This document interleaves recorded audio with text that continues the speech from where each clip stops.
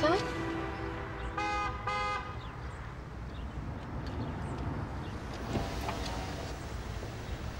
Aysel, işe mi gidiyorsun? Hı hı. Bırakayım mı seni? Geç kalacağım ya aslında iyi olur. Hadi gel.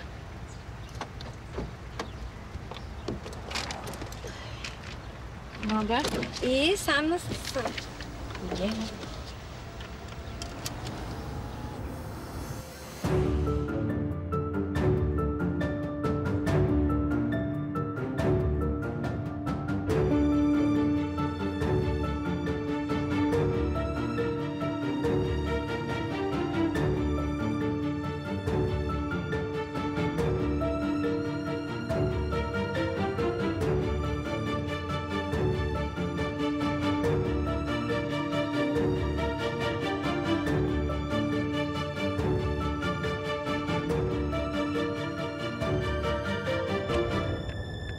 Ee, nasıl gidiyor Karan'la? İyi, yani her şey yolunda. Sen eskiden bana daha çok şey anlatırdın ya. Neler yaptınız, nereye gittiniz, ne dedi. Şimdi sanki böyle bir şeyler saklıyor gibisin. Ya Aysel yani aslında Aslında ne? yok yani her şey aslında aynı. Onu diyecektim. Ama belki yakında bir sürpriz yapabilirim. Ne sürprizi? Yani evlilik teklifi gibi bir şey falan değildir herhalde. Yok canım ne evliliği. Hem erken değil mi daha? Evet çok erken. Daha ne kadar tanıyorsun ki Karan'ı? Ne evlenmesinden bahsediyorsun? Yani bir bak bakalım biraz ağırdan al kendini. Ölç tart duygularından emin misin değil misin? Birazcık uzaklaşın hatta.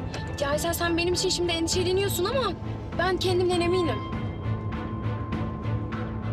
O değil de senin aşık olduğun gizemli çocuktan ne haber? Ailevi problemleri var. Onları çözene kadar bir süre görüşmeyeceğiz. Al bakayım. Al, al. Hah, işine geleni nasıl anlıyorsun? Koş bakkaldan ekmek kap gel desem yapmazsın.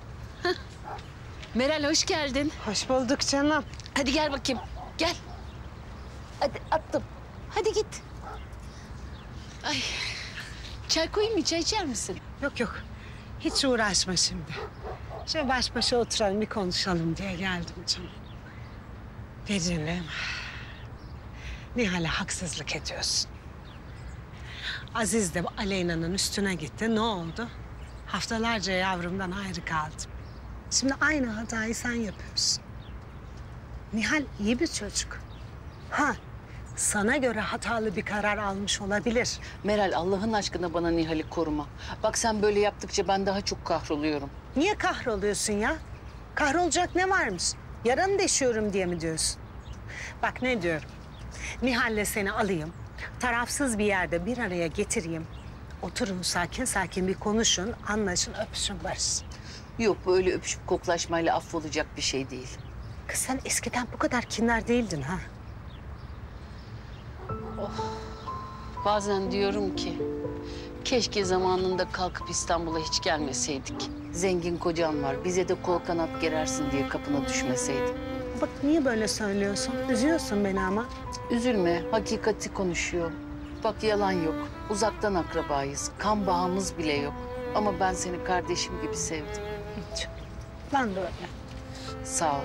Çocuklarımız da kardeş gibi büyüdü ama biz çıkıp gelmekle hata etmişiz onu anladım. Bazen varlığımızla sana, ailene huzursuzluk verdik. Ay yok öyle bir şey Berrin. Öyle öyle.